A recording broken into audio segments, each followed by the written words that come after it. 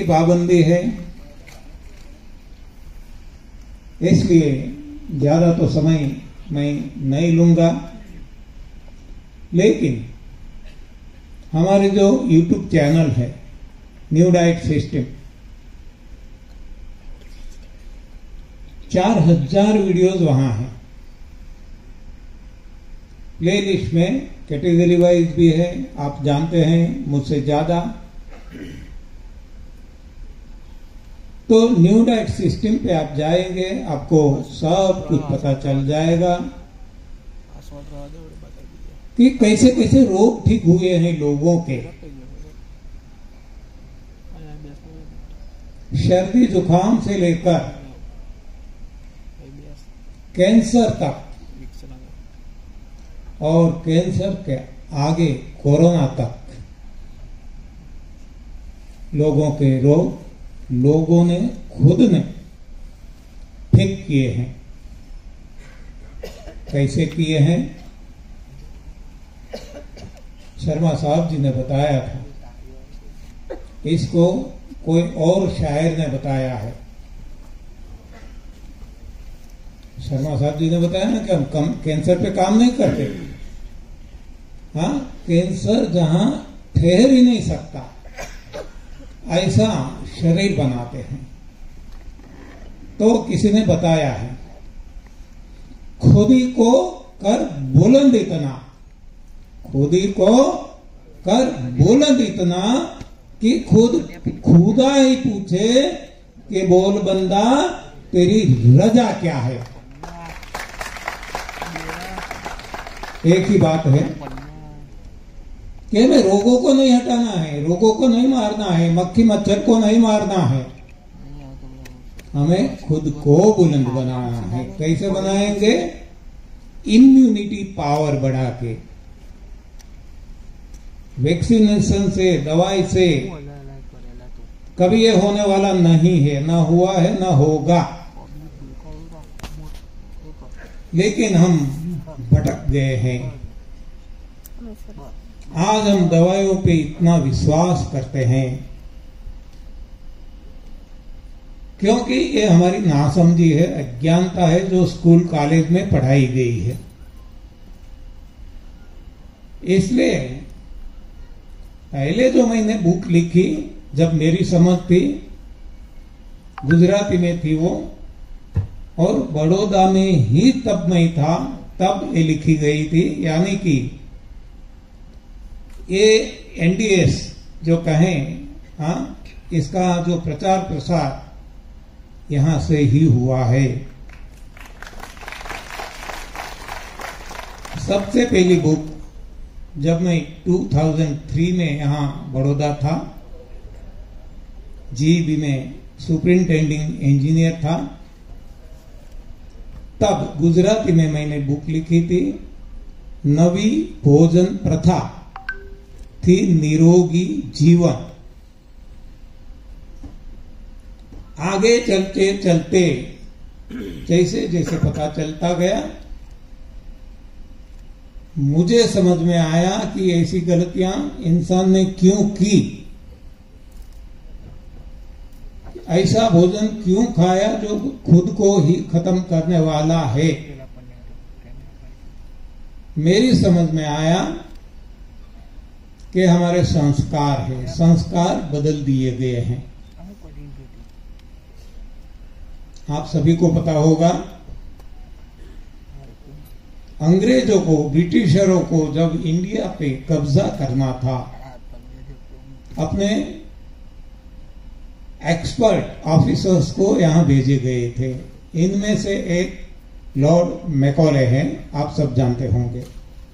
उन्होंने अपना opinion British parliament में सेकंड फरवरी 1885 में प्रस्तुत किया और बताया कि भारत पे कब्जा करना हमारे लिए तो क्या विश्व में कोई भी देश के लिए आसान नहीं है। भोजन पद्धति से कैसे लाभ ले सकते हैं? बहुत अच्छा सवाल किया मैं आपको बता दूँ आपके माध्यम से सभी को बता दूँ। जो मैं बताता आया हूँ रोग चाहे कोई भी हो रोग चाहे कितने भी हो, रोग चाहे वर्तमान के हो और भविष्य में जो कतार लगा के खड़े हैं लाइन में, वो भी है, जिसका हमें पता नहीं है, नाम भी, नामकरण भी नहीं किया। ऐसे कोई भी रोग सभी का कारण केवल एक है, शरीर के भीतर रुकी हुई गंदगी। और निवारण है, गंदगी को हटा दो, साफ़ कर दो। तो यहाँ कोई रोग की नाम लेने की ज़रूरत नहीं है। चाहे डिप्रेशन हो, चाहे कोई भी हो, सफ़ाई एक ही जवाब है। तन के रोग हटाने हैं तो तन की सफ़ाई, मन के रोग हटाने हैं तो मन की सफ़ाई, इंद्रियों के रोग हटाने तो इंद्रियों की सफ़ाई, और बुद्धि के रोग हटाने तो बुद्धि की सफ़ाई, सभी की सफ़ाई अलग तरीके, लेकिन सफ़ाई करने से, क्योंकि जो रुका हुआ है, चिपका हुआ है, निकल जाएगा तो अपने आप सब कुछ ठीक हो जाएगा। तो रोगों के यहाँ नाम लेने की कोई आवश्यकता नहीं है। जो अभी शर्मा साहब ने बताया कि मैं शरीर पे रोगों पे कम ज़ोर देता हूँ, माइंड पे ज़्यादा ज़ोर देता हूँ। और यही तो है, क्योंकि माइंड ही कंट्रोलिंग पावर है हमारा। पाँचों इंद्रियाँ कहें, जो भी कहें, दसों इंद्रियाँ, जो भी। तो काबू है मन का। आज की परिभाषा में बात करें तो ये जो देश दिखता है, इसको हम कह सकते हैं हार्डवेयर। और मन जो है वो है सॉफ्टवेयर। चाहे मोबाइल हो, चाहे कंप्यूटर हो, चाहे कोई भी इलेक्ट्रॉनिक इक्विपमेंट, कोई भी ले लो, सभी जगह सॉफ्टवेयर और हार्डवेयर है। हार्डवेयर खुद अपना काम नहीं कर सकता। हार्डवेयर हार्डवेयर तब काम देगा जब जैसा सॉफ्टवेयर इसमें डाला गया है। इसलिए यदि काम हार्डवेयर से लेना है, बदलना है तो हार्डवेयर को नहीं बदलना पड़ेगा, मोबाइल को, कंप्यूटर को नहीं बदलना पड़ेगा। किसको हम बदलेंगे? सॉफ्टवेयर को। तो ये सॉफ्टवेयर भगवान ने दिया है, वो है मन, बुद्धि चित अहम, आत्मा। हाँ ये सारे सॉफ्टवेयर है। तो बदलना है जीवन को तो सोच बदलनी होगी और सोच तब बदलेगी जब संस्कार बदलेंगे, संस्कार तब बदलेंगे जब शिक्षा बदलेगी। यानी कि हमें शिक्षा बदलनी होगी। और आज मुझे बहुत आनंद और मैं गौरव गौरव के साथ कह सकता हूँ। जो शर्मा साहब ने बताया कि सारी क्रांति परिवर्तन गुजरात से आती है। तो शिक्षा प्रथा में भी परिवर्तन गुजरात के ही हमारे माननीय प्राइम मिनिस्टर मोदी जी ने शुरुआत कर दी है और हमारे सिलेबस में श्रीमद भगवत गीता को डाल दिया है। ये शास्त्र जब हमारे शिक्षा में आ जाएँगे, जीवन में कोई रोग तो नहीं रहेगा। रोग तो आपको हाँ मामूली बात लगेगी। रोग जैसा कुछ है ही नहीं। ये तो हमने पैदा किए हैं। बाय प्रोडक्ट है हमारी गलती की। तो रोग तो नहीं रहेंगे, शरीर के, देह के काया के।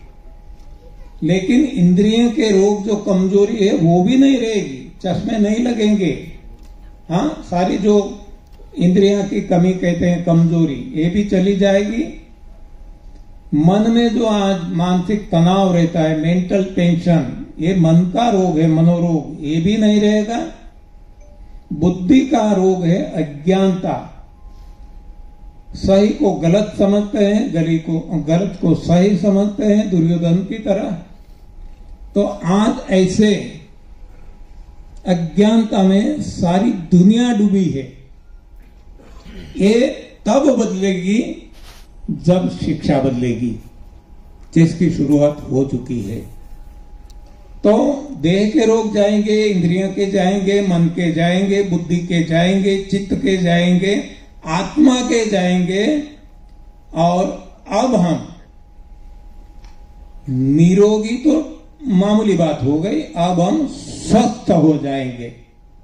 स्वस्थ की परिभाषा है डेफिनेशन है, स्व में स्थित रहना। ये स्वस्थ है। यानी सारे, हमारे जितने बॉडीज कहे जाते हैं, देह, इंद्रिया, मन, बुद्धि, चित्त, आत्मा, सभी ये शुद्ध हो जाएँगे और हम प्रभु प्राप्ति की ओर आगे बढ़ेंगे। और प्रभु प्राप्ति की ओर आगे बढ़ना प्रभु को प्राप्त करने के लिए जो गति करना, वो सही में है प्रगति। आज हम प्रगति, प्रोग्रेस कहते हैं, वो सही में प्रोग्रेस नहीं है, वो अधोगति है। लेकिन हमारी सोच ऐसी हो चुकी है कि हम उल्टा समझते हैं, अधोगति को प्रगति समझते हैं और प्रगति प्रभु की ओर की गति को हम अधोगति समझते हैं। इसमें बदलाव आ जाएगा उलटफेर हो जाएगा। तो ये जो कुछ करना है, ये हमें और कुछ नहीं करना है, खुद ही को बदलना है। खुदा अपने आप मिल जाएँगे। देखो, शबरी भगवान के वहाँ नहीं गई थी। भगवान आए थे। नरसिंह नेता कहीं मंदिर, मस्जिद, गुरुद्वारा, चर्च, वो मारे मारे नहीं घूमते थे। भगवान जब जब वो बुलाते थे, आ जाते थे। तो भगवान तो हमारे भीतर है। जब हम बुलाएँगे, आ जाएँगे ये तो हम कहते हैं, हम तो कहते हैं, चौबीसों घंटों है। इसलिए तो हम हैं, नहीं तो हम कैसे? हाँ ज़िंदा ही नहीं रहते। तो आज तक जो हमने गलती की, एक शायर ने कहा है हाँ कि धूल चेहरे पे थी, धूल चेहरे पे थी। गाली, जिसका नाम आपने सुना होगा, शायर। वो कहते हैं, धूल चेहरे पे थी और गालिब आईना पोछता रहा। आज तक हमने ये किया है। हाँ अभी अभी साहब ने बताया, शर्मा साहब ने, कि कैंसर पे काम नहीं किया। उसी तरह हमें आईने पे काम करने की ज़रूरत नहीं है। जहाँ धूल है, उसको साफ़ करना है। लेकिन आज सारी दुनिया उल्टी दिशा में दौड़ रही है। तो इस हिसाब से आज हम गलत रास्ते में चल रहे हैं, गलत परिणाम भुगत रहे हैं। बहुत कुछ कह सकते हैं। पहले तो मैं गूँगा था, बोल नहीं सकता था। जीबी में जब सर्विस करता था, मेरी पत्नी पंगू थी रूमेटोइड आर्थराइटिस के वजह से और सारी बीमारियाँ थी, मुझे भी बहुत थी। लेकिन एक हम जानते हैं, श्लोक है, बोलते भी हैं कि मुकम करोति वाचालम, पंगुर लंघयते गिरिम। कृपा तम हम वंदे परमानंद माधवम तो ये भगवान करते हैं, मेरे जैसे गूँगे को बोलता कर दिया, और मेरी पत्नी जैसी पंगु को पहाड़ियाँ, और वो भी हिमालय चढ़ने की क्षमता दे दी। तो आप सभी को भी, आप सभी को भी ये सब कुछ मिल सकता है। जिसको जो भी रोग है, जिसको जो भी रोग है, हट सकते हैं बिना कोई दवाइयाँ, बिना कोई एक्सरसाइज बिना कोई योगा, बिना कुछ भी किए। केवल और केवल जो भगवान ने हमें रास्ता दिखाया है, सही रास्ता, भगवान के रास्ते पे चले तो अपने आप सब कुछ ठीक हो जाएगा। तो ये भगवान का दिया हुआ रास्ता, इसको हम तप सेवा सुमिरन रामचरित मानस में कहते हैं। तप दान यज्ञ श्रीमद भगवत गीता जी में कहते हैं। फास्टिंग चैरिटी प्रेयर बाइबल में कहते हैं। रोजा, जक़ात, नमाज़ कुरान में कहते हैं, उपवास दस बंद सिमरन। गुरु ग्रंथ साहिब में कहते हैं, यानी हर कोई ग्रंथों में एक ही बात बताई गई है, ये साधना है, ये रास्ता है, जीवन जीने के लिए। तो ये रास्ता हम अपनाए, इसकी एंट्री जो है, प्रवेश, वो है new diet system, N D S. वैसे कहे तो नेचुरल डाइट सिस्टम।